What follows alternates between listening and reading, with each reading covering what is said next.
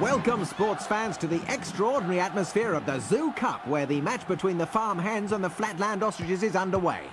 No score as yet. Two schools of football face to face. The technical prowess of the ostriches and the more alluring style of the hens. Outflies now in an attacking position in front of Pecker's goal. But the referee calls offside. Uh, the ostriches aren't happy about it, and who can blame them?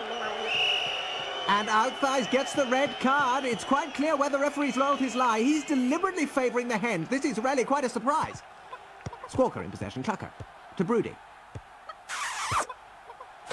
Oh, who loses control and a penalty? It's obvious that Mr. Cox is rooting for the hens.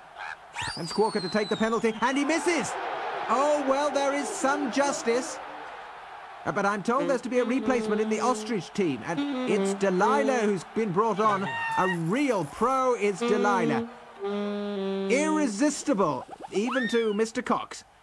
And the hens must have the feeling this game's slipping away, and you can sympathise. Delilah again now. What mm-hmm. remarkable footwork, and she's up to the hens' goal. Pecker's there.